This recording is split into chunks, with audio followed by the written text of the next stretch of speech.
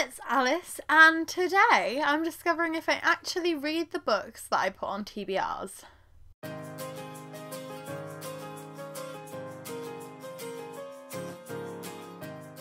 So for this video we are going all the way back to 2015, back to when I was writing on a website called Everything Alyce and it was a blogspot site and it was janky as hell but I loved it and blogging was such a huge time sink but I do really miss it obviously I love doing the channel instead now because it's much easier to fit in and I find it more satisfying than I ever did with blogging. but these are going to be my earliest TBRs slash blog posts that have like books I want to read in them. So some of them aren't straight up TBRs, but it's all the posts from my first year of blogging, my first complete full year, in which I've expressed interest in reading certain books and discovering whether I actually read them or whether they're still languishing on my TBR or if I've completely decided I'm not interested in them anymore. So I'm going to be revisiting eight posts for this. And without further ado, let's have a look and see me completely shame myself because it's pretty obvious I'm not going to have read most of them. so to start off with, we are going to something called the Endless Possibilities Readathon. This was apparently in conjunction with Good Tales book tours. I don't remember Good Tales book tours at all, but this was from the 28th of May 2015. Okay, so first up, The Lover's Dictionary by David Levithan. So, I actually read that one. I didn't think much of it, it was very simple, but I read it. I also have Panic by Lauren Oliver, which I definitely read. I don't know if I would have read it for this readathon, but that's the one when the girl's like taking part in like some kind of weird game thing. I think. Yeah, I definitely read it. I just don't really remember much about it. And third on that list is Adverbs by Daniel Handler. Daniel Handler, that's Lemony Snicket. Did I read that? I'm gonna run over to Goodreads because I honestly, for the life of me, I can picture the cover of it, but god damn, I can't think of what the book was like. Three hours later. Oh, apparently I gave it two stars. So I did read it. I just probably shouldn't have. Oh, apparently it was confusing and mind-boggling. It's not a novel. okay, so I've read the first three books on this video, which is good. Um, and I don't remember particularly enjoying any of them. So Let's move on to a Top 10 Tuesday post from the 15th of September 2015. 10 series I need to hurry up and start. Now, I'm not a huge series reader. I start them and I don't finish them, so the likelihood of me actually having finished any of these series is minuscule, but I'm hoping I will have at least started one of them. But we'll find out. Uh, 10th was The Raven Cycle by Maggie Stiefvater. I actually read this two years ago, so not in 2015, in 2020. So it took me five years to read that, but I did read all four of them, and I'm currently reading the Dreamer trilogy as well, so I've done pretty well with that one. In ninth place, we have the Delirium trilogy by Lauren Oliver. I read the first book less than a year ago. So again, I didn't read it in 2015, but I have read it by now, which is good. In eighth place, we have The Wither Trilogy by Lauren DeStefano. That is on my These Books Will Self Destruct in 12 Months list, so I need to read that in the next two months, and I'm planning on it. So I'm going to have gotten that one done as well, that's good. Seventh, we have The Match Trilogy by Ally Condie, which I read last year. I did a huge rant review on this one. I really did not end up enjoying it, and I kind of wish I'd just given up after the first book, but I have read that entire series.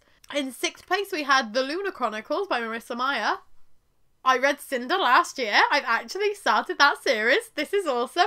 I haven't read any of the others. This was before Winter even had a cover. That's how long ago this blog post was. Damn.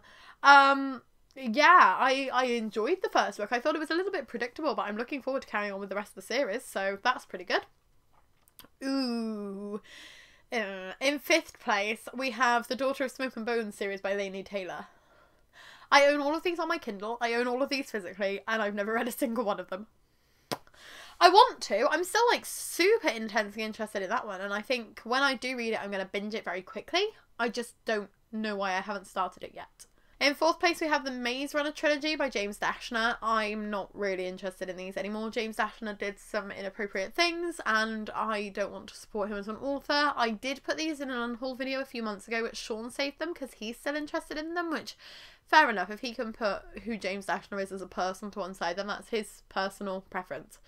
Um, but I don't think I'll ever end up reading those. In third place, we have Throne of Glass by Sarah J. Maas. I still haven't started this series, but I'm currently catching up on the A Court of Thorns and Roses series. I've still got A Court of Frost and Starlight and A Court of Silver Flames to read, and I'm up to date on Crescent City and I absolutely love it. So I'm planning on starting Throne of Glass soon ish. I just can't believe that I said I was determined to get around to them seven years ago, just after book four came out. I'm not good at reading things. In second place, we have the Grisha trilogy by Leigh Bardugo. I actually would have read this like right after this post came out because I've written on there that I got it out of the library and I read it them all out of the library, like one after the other after the other. Um, didn't love them, but I can kind of get the hype. I'm planning on rereading them before I watch the Shadow and Bone TV series, so I can give you my opinions on those when I read them the second time. And in first place, we have The Hunger Games by Suzanne Collins, which I still haven't read.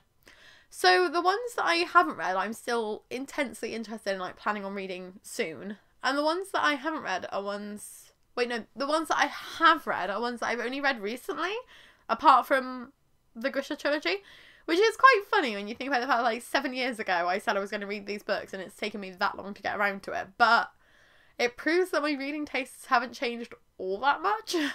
like I am still interested in the same things I was interested in back then.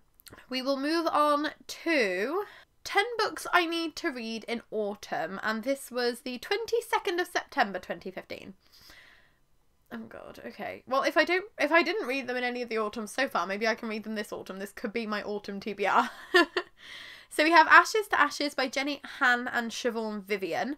Um, and I think this was the third and final book in the Fire with Fire series. It might be the second one, but I did actually read this whole series and I enjoyed the first two. I didn't like the way that it ended. Um, I thought that it was a bit wild and wacky, um, but I did read that one. In ninth place, I've got Hello, Goodbye, and Everything in Between by Jennifer E. Smith. And I'm just going to have to look up which one that is because I don't have an image of it in my blog post, which doesn't help me. Um, because if it's the pink one that I'm picturing, Sean will probably already put on the screen by now. Yes, I did read that one. I gave it three stars. I enjoyed that one. Yeah, that was um sent from Headline Publishing. So a huge thank you to Headline for sending me a book seven years ago that I actually read. In eighth place, we have Simon versus the Homo sapiens agenda by Becky Albertalli. I did read this and I loved it. So I was right that I needed to read that one. In seventh place, I have Autumn by David Moody. I was recommended this by a colleague when I worked at the library, and I think I read four out of five of the Autumn books. I missed one of them somehow in the order. I read like one, two, three, and five, or one, two, four, and five. Um, so I will eventually finish that series off, but I just can't be bothered if I'm honest. Like I've I know how it ends. I don't really want to go and fill in the gaps. Um, but they're all standalones, so it is a series you can read out of order if you need to, and it doesn't matter if you've missed an installment. Um, but I did, I did definitely read the first one. In sixth place, I have Shadow and Bone by Leigh Bardugo. As I said, I read the Grisha trilogy. I did read this one. I'm extremely proud of that, and I was obviously very interested in it back then if it was on like two TBR posts like two weeks apart. In fifth place, I have Lips Touched Three Times by Laini Taylor. This is a short story collection, and I did read it, and I did really enjoy it. And this was what made me more interested in Laini Taylor's other writing. Um, and it's probably the reason that I read Strange the Dreamer and loved it. So I will read Daughter of Smoke and Bone eventually. I just don't know when. In fourth place, we have Landline by Rainbow Rowell. Still have no real recollections of this one. I definitely read it. I still have no idea what I've rated it probably like two or three to be honest. I I'm not a huge fan of Rainbow Rowell. In third place, I have a Game of Thrones by George R. R. Martin. I have not read this one yet. I was planning on reading it as part of a video series last year. I'm hoping to read it as part of a video series this year. Whether it's going to happen or not, we will find out. in second place, we have The Coldest Girl in Coldtown by Holly Black. I did read this. It's my favourite Holly Black book that I've read so far, and that's not really saying much because I haven't really enjoyed most of her books. But that one is one that I would highly recommend. So if you're not a fan of Holly Black's Fae writing, try The Coldest Girl in Coldtown because it's vampires. And then in first place, I have Trigger Warning by Neil Gaiman, which was a short story collection, and I did read it and I did love it. So, well, I say love it. I remember enjoying it intensely at the time, but now I can't really remember anything about it, so I don't know how much I did love it. But that means out of this whole TBR, there's only one book that I haven't read, so that's pretty cool. And it's one that I, again, am still actively interested in reading. Like, Game of Thrones is right here. Like I could pick that up and start reading that now if I wanted to because I'm still that intensely interested in it that it's right behind me. Next up we have a blog post from November the 11th titled Top 5 Books I Didn't Finish Yet. So I'm one of those people that when I get halfway through a book, if I'm not enjoying it, I'll put it down and then I'll plan on picking it up again eventually, and I won't always get to it, and then it just languishes on my Goodreads currently reading for like years and years and years until I get fed up with myself and actually read it. So I'm assuming some of these are still going to be floating around. I'm hoping that I managed to knock most of them off in 2020. Uh, 2019 time because just before Ezra was born, I did make a concerted effort to finish some of my currently reading books. Whether these are going to be ones that I did that for, we're going to find out. So, in fifth place, I have Undone by Cat Clarke. I did read this. I read this just before Ezra was born, actually. So, this was one of the ones that I tried to knock off then. Um, this one was hard to read because it's about a girl whose best friend commits suicide after. I think he's either outed or he's bullied for being gay, even though he's not actually out yet. Um, and his best friend is obviously grieving and she decides to take down the popular kids that she believes are the reason that he died by suicide. Um, it's a very, very difficult read, very powerful. Um, and the first time I read it, I was just in too bad of a place, so I managed to get 100 pages in and then I had to put it down because I just couldn't physically push my way through. Second time when I actually finished it, I think I gave it five stars and I read it very, very quickly. I flew through it and it made me want to cry my eyes out, but it was very powerful. In fourth place, I have The Raven Boys by Maggie Stiefvater. Again, as I said, I have read the whole Raven cycle now, but I did start this just before Ezra was born, or just after Ezra was born. It might have been just uh, like the week after he was born. Um, I struggled with The Raven Boys, and I don't know why. I kept getting like 30 pages in and then just hitting a brick wall, and I just couldn't get any further. I must have tried picking it up either six or seven times. Yeah, oh, apparently I read the first 50 pages of The Raven Boys twice and I couldn't get into it. The last time I tried to pick this book up was January 2013. And that was just before The Raven King came out. Um, but I know I definitely tried again after that. So yeah, probably five times. It was like the fifth attempt before I actually managed to push my way through it. There's just something about the first book that doesn't absorb me. The second book, I love. The third book, I love. The fourth book, it is a bit of a disappointing ending, but I am really glad that I persevered with that one in the end. Um, in third place, we have The Fellowship of the Ring by J.R.R. Tolkien. Uh, I have not finished The Return of the King yet. Um, I haven't even started it. I didn't really enjoy the first two, but I did finish The Fellowship of the Ring and I did read The Two Towers as well, so I have made progress on this series since 2015. But again, I think that was 2020. Like, that was only a couple of years ago that I actually forced my way through the first two. There's just something about these books that bores me. I know that's a controversial thing to say because obviously Lord of the Rings is one of the most loved series of all time, especially loved fantasy series, but it just doesn't work for me. In second place, we have Emma by Jane Austen. Um, I have finished this one. I did like it more second time around. It's still not my favourite Jane Austen story, um, but I again I'm glad I persevered with that one. And in first place, I've got Harry Potter and the Goblet of Fire by J.K. Rowling, which I have still not read. Um, I didn't even get through the third book on my reread. I think I reread the first two, and then I couldn't get any further than that. Um, I'm trying, but uh, I don't know. Maybe one day, but not for a while yet. So out of that one, I've only got the one left to go. So that's pretty good as well. Oh, this is going way better than I thought it was going to. I thought this was just going to be me shaming myself, and this is me thinking that like 2015 Alyce had some good TBRs, man. Like there are some books on here that I've really loved. We will move on to 10 2016 debuts I can't wait to get my hands on. This was published on the 1st of December 2015. I think this one is going to be more of a fail because I can imagine that it's a lot of books that I'd seen other people talking about that might have only been published in America. So I might physically not have been able to get my hands on some of these, but I might still be interested in them. We'll find out. In 10th place, I have Black Hearts by Nicole Castroman. Uh, it's the origin story of Blackbeard the Pirate.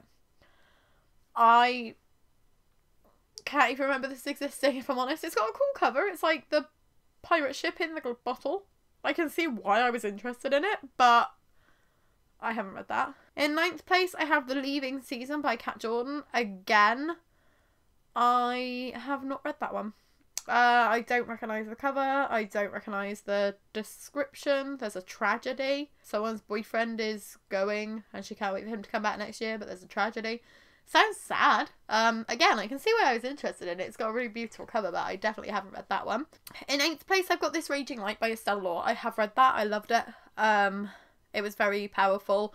Um, it's a girl whose mum leaves after her dad has like a mental breakdown, and it was a very interesting story about like the responsibilities of being an older sibling raising your younger sibling and kind of having to grow up yourself far earlier than you should have to.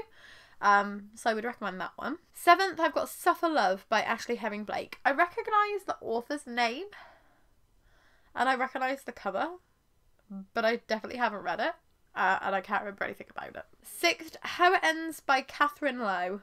Do not remember, don't recognise the author's name, don't remember the cover. Um, kind of looks semi interesting, but don't remember a thing about it. Fifth is The Year We Fell Apart by Emily Martin. I did like this one. Um, it's like a girl who, like, in the space of a year, like her whole personality changes, and I think it's a case of like it goes through the seasons, like seeing how she changes back. I'm probably making that up. Um, I remember reading it on Riveted Lit because I can remember I was reading it on the computer at the library and I should have been doing work and I was not doing work, but it obviously didn't have much of an impact on me. Fourth is A Study in Charlotte by Brittany Cavallaro. I'm still interested in the Charlotte Holmes series. Um, I just haven't had a chance to get hold of any of them because I don't think they've ever been published in the UK. They've, there's four or five now and they've all got beautiful covers and I've heard good things about them and I keep seeing them pop up, especially as like recommendations for people who like Truly Devious and things like that. Um, I will read those eventually, just not yet. Third is The Girl from Everywhere by Heidi Heilig. I own it. I haven't read it. I own the sequel too, and I haven't read that either. Maybe one day. Something about me saying I was interested in pirate books and then not actually reading them, apparently. Two was The Way I Used to Be by Amber Smith. Um, this is about a girl who gets raped by her best friend, and it's a no, her brother's best friend? Let me see. Yeah, it's told in four parts about a girl who gets raped by her brother's best friend and how it affects her.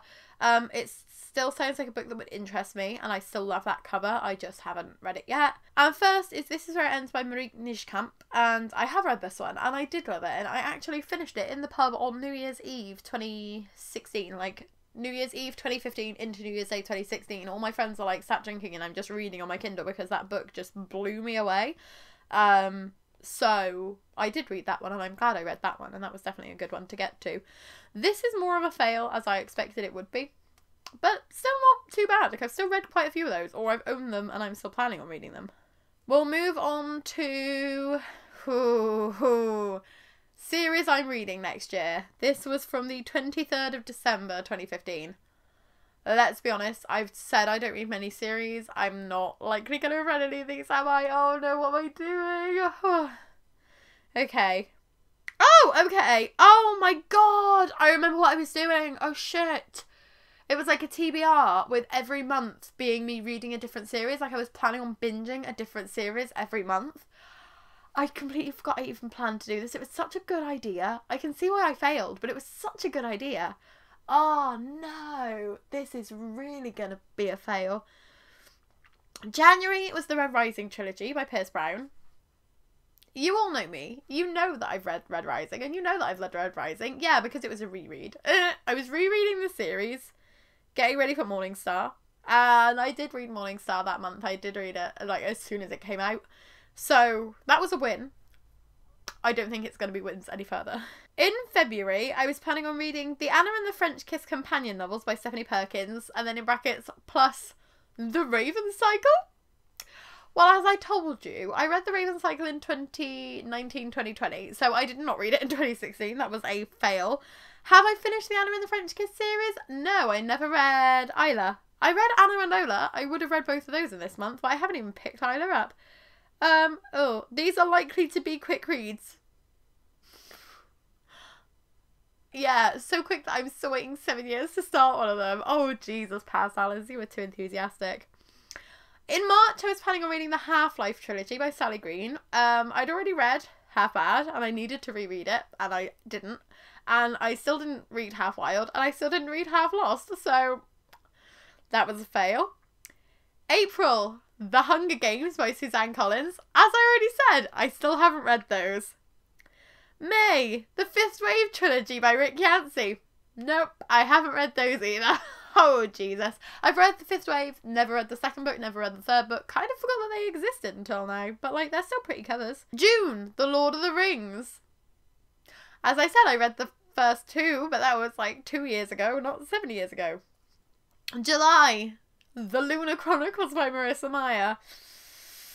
Yeah, no. Oh. yeah, I read the first one last year. Uh, August, The Maze Runner. I've already addressed that. September, Harry Potter. What was I thinking? Trying to read the whole Harry Potter series in one month when I can barely even get through one of the books. Oh my god. Um, I have. I tried to reread these a couple years after this, not right then, and I've reread them again since, and I'm still not getting past book three. October was Miss Peregrine's Home for Peculiar Children by Ransom Riggs. I read the first book in that series on audiobook last year, and I still haven't continued on with the rest of the series, but at least I've started it. November was the Tomorrow series by John Marsden. I read the first book and then bought the whole box set, and then I was planning on rereading the first one and finally carrying on with the rest, and I didn't do it. I still haven't reread the first one. And December was A Song of Ice and Fire by George R. R. Martin, which again, there's no way I'm going to read all of these chunky old motherfuckers in one month. What was I thinking? But yeah, I haven't even read the first one because I'm a failure. Sorry. This is now becoming mildly more embarrassing, so let's see how I do on the next one. We've got 10 books I want Santa to leave under my tree, and this was on the 22nd of December. 2015 still, obviously. In 10th place, we had She-Hulk Volume 1. No. Um, I want to read She-Hulk still, but they didn't have it in the library. Yes, I'm in my pyjamas again, don't judge me. Um, they didn't have it in the library, and I hoped to get it eventually so that I could read it, and I still haven't gotten hold of it, so I still haven't read She Hulk, but I'm still interested in the story. In ninth place, I had the Daughter of Smoke and Bone trilogy, which I've already said I haven't read, and Father Christmas didn't leave those for me. I bought the first one on eBay a couple months later, and then got the others on Kindle Daily Deal when they came up. Eight was The Walled City by Ryan Graudin. I do own that now, um, because I found it in a charity shop a few months later, but I haven't read it. Seventh was The Wrath of the Dawn by Renee Ahdieh. I've heard a lot of amazing things about this one. I've got a feeling I've got it on my Kindle now, but I still haven't read it. In sixth place, I've got the Mara Dyer trilogy by Michelle Hodkin. I would have read the first two at this point. I still haven't read the third one. It's like I'm saying, like, I would have read the first two at this point, but then I read the third one after. No, I didn't. I never finished the series. Um, I own the first one because I found it in a charity shop and I've got the rest of them on my Kindle, so I will reread those eventually and hopefully finish the series, but I have at least read the first one. In fifth place was Captain Marvel by Kelly Sue DeConnick. Um, I do love this run. I read out the library after this. Still don't own it. Um, but I did read that one. In fourth place was Snow Like Ashes by Sara Raasch. At this point, it hadn't been published in the UK. When it did get published in the UK, or whether the library got an American copy, I can't remember. But I borrowed it out of the library, read the whole series, didn't love it. In third place, Carry On by Rainbow Rowell. I got this for Christmas. I got this as soon as it came out, and I got a couple of copies of, of it actually. Um, and I only read it in 2019, but I did read that one. In second place, I had Binge by Tyler Oakley. Mum got this for me and she got it signed, and I still haven't read it. It's very short and thin, so I'm thinking of reading it. Sean wanted me to unhaul it because he was like, I don't think you're actually interested in it anymore. But I am, so I have rescued it from his unhaul. but yeah, I, I'm not sure when I'll get to it. And in first place was Morningstar, which I've read, and which I didn't get for Christmas. Actually, to be fair, I might have gotten it for Christmas because I know I got sent an advanced copy of it. So I might have been sneaky and actually got that one. It was either for Christmas or like for New Year that they sent it. So I'll take that as a win. But yeah, not all of the ones on that TBR read either. And then last but not least, I've got. Oh no. I just seen what the top one on here is, and I've already said I haven't read it. We've got from the 29th of December 2015, the 10 most anticipated releases from January to June. And in 10th place is The Last Star by Rick Yancey, and I still haven't read it. Nope, sorry. Uh, ninth place was Summer Loss by Ally Condie. I've read a few Ally Condie books, but I haven't read Summer Loss. I'd forgotten it even existed. It's still a gorgeous cover. I don't know if I'm interested in it, but apparently it's based around a theatre festival. That sounds interesting, but I haven't read it. In eighth place is A Tyranny of Petticoats, edited by Jessica Spotswood, so it's a short story collection. I'm still interested in it because it's a short story collection. I've got a feeling that Tess Sharpe might have had a short story in this collection. I might be making that up, um, but I haven't read it yet. I haven't ever seen it in the UK. Completely forgot that it existed. Um, in seventh place, I've got this Savage Song by Victoria Schwab. I actually got this in an Owl Crate box, so you'd think that would mean I had read it. no. No, I still haven't. I still have it though. I'm interested in it. In sixth place, I've got The Incredible Adventures of Cinnamon Girl by Melissa Kyle. I have this on my NetGalley. Um, I've had this on my NetGalley for apparently six years. And I'm still low key interested in it, but I don't know why I can't get into it. Like I tried, I tried to read it at the time, and I was like, no, I don't want to force my way through it because I'll give it a terrible review. And then apparently just never read it. So we'll see how that goes. In fifth place, I have Firsts by Laurie Elizabeth Flynn a great debut. I really love this one. It had quite a lot of controversy about it because it's about a girl who sleeps with guys to. So she sleeps with virgins who are in relationships so that she can teach them how to please their girlfriends so that when their girlfriends have their first times, it's actually really special for them. And it's a great concept. I know that it's like morally grey and I it had a lot of controversy, but I thought it was great. I loved it. Um, in fourth place, When We Collided by Emery Lord. Um, I still have it. It was in an Illumicrate box actually, but I haven't read it yet. I have read a couple of Emery Lord's books since then though, because I put on there I hadn't read any, but I have read a couple since then, so that's something. Um, in third place, A Court of Mist and Fury by Sarah J. Maas. I have read it. I did not read it when it came out. I read it last year for the first time. So at least I read it, even if it wasn't in May 2016. In second place, Lady Midnight by Cassandra Clare. I haven't read it. I haven't read probably any Cassandra Clare book since I did this blog post. So hopefully I will read that eventually. Um, but just not yet. And in first place, Morning Star. Of course, that would be my most anticipated release of 2016. And I did read that, as I said. So I'm actually reading that again this month as well. So that makes me feel even better. So in conclusion, I feel like I'm I am reading quite a lot of the books that I want to read. It's just taking me fucking ages to get to them. So if I'm setting a TBR now, in seven years' time, I should probably have read most of it. Which is good because it means in seven years' time, I will have actually started the Way of Kings, and I will have possibly begun the Mistborn trilogy, which is good. I would like to start them sooner than age 32 or 33, but I guess that's just going to depend on whether I can actually buck it up and like buck up my ideas, suck it up, and just get on with actually reading what I'm saying I'm going to read instead of procrastinating wildly. I hope that you enjoyed this video. It's been a lot of fun to film. It has been a little bit embarrassing, but it's also been nice to go back over my old blog posts and see that I haven't, like, my reading tastes haven't actually changed much. Even if I feel like they have. I feel like I guess I get less excited. I get excited about fewer books, which is good because it means I can actually remember what they're about and recognize the covers and not just be like, yeah, I don't think I've ever seen that before in my life. Um, but yeah, I think I'm doing pretty well, so I'm quite happy with that. If you like this video, please give it a like. If you'd like to subscribe, we'd be super duper grateful. We post new videos every Tuesday, Thursday, and Saturday, so we'll see you again in another couple of days with another video. Bye!